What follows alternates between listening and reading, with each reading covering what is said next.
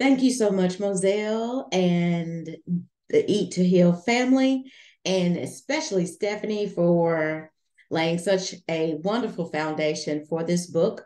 So, my name is Nikisha Ware, and I am here today uh, just to continue to lay and build a foundation for what Stephanie has set on this amazing book. She has already helped us to understand that children who experience a plant based diet generally achieve adequate growth and development and the overall quality of their diet, their lifestyle tends to be better because they have more fruits, more vegetables.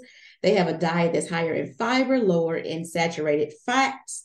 So we know that many chronic conditions such as hypertension, high cholesterol, and even diabetes can begin developing even during childhood and a plant-based diet can reduce the risk of developing these diseases. So I love the chapters that I'm going to share with you today, nine and 10, because they illustrate something that we are very familiar with family mealtime, how it can be fun, it can have variety, it can give children independence and autonomy as a means to undergird the healthy lifestyles and the healthy connections that you'll have with your young folks and teenage children alike. So let's get into it.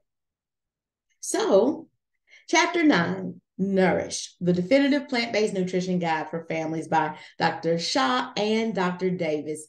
And this particular chapter is titled Feeding Plant Strong Kids. And here are some of the key points of the chapter.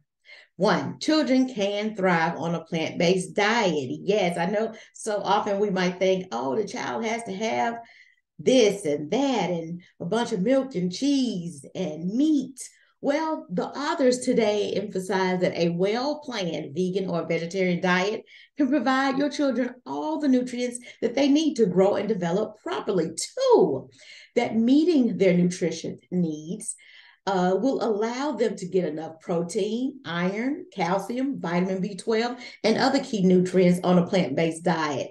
They also discuss the benefits of some of the key plant based foods that should be included, like legumes, nuts, and seeds. Three, the meal planning for children. They emphasize that there are some very practical tips for planning meals and snacks for children on a plant based diet, including some suggestions they had for breakfast, lunch, dinner, and snacks. They also discuss ways to make a plant based meal appealing to kids, appetizing, such as things like including them on the meal plan and helping them to meal and allowing them to help you rather meal prep some special considerations they wanted to include, particularly for children of different ages. The authors discussed the unique nutritional needs of infants, toddlers, and teenagers, and they gave us the guidance in order to do that, just so we would know how to meet those needs on a plant based diet. And what about your picky eater? They had something for them too.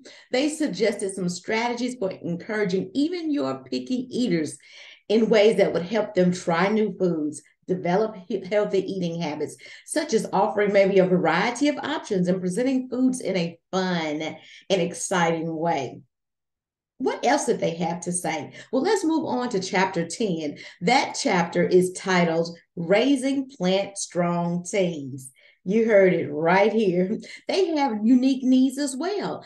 You can emphasize the importance of your teenagers' new, broadening, high healthy lifestyle by getting them all the nutrients they need to support their growth and development as well. They discuss uh, using specific nutritional needs of adolescents, which could include getting enough calcium, iron, and protein. So, how did they say we can help our teens transition to a plant based lifestyle? Well, they suggested uh, supporting your teens by helping them too. Help them uh, with meal prep and preparation. They discuss involve, involving your teenagers in a decision making process and addressing any concerns or questions that they might have. Now, they did touch upon addressing social pressures. They discuss social pressures that teenagers may face when trying to adopt a plant based lifestyle. You know that that is uh, common sometimes when they're dealing with their peers. Sometimes they may fall to peer pressure and criticism from not just their peers and friends, but also family members. Well, they give us a couple of strategies for dealing with these just to help your teenager stay more committed to their own dietary choices. So, what if you have a teen athlete?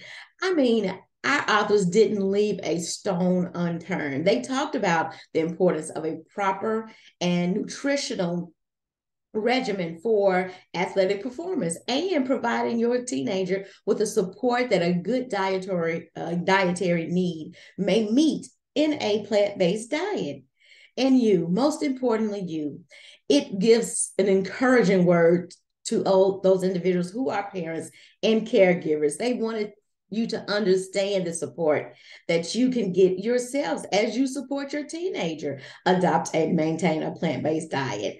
They also provided guidance on how parents and caregivers can be supportive and encouraging while respecting their teenagers autonomy. Overall we can say this. This is still the best way uh, that we have found in this particular book to address some of the things as far as a practical and comprehensive way uh, to feeding children a plant-based diet, helping them and encouraging their eat healthy eating habits while also supporting their nutritional needs as they develop from infancy to teenage years, while at the same time helping their teenagers face some of the challenges and pressures that they will enter as they uh, go into adulthood. So I'm really excited about this. And I want you to stay tuned next week for chapter 11's review when we talk about weighty meals.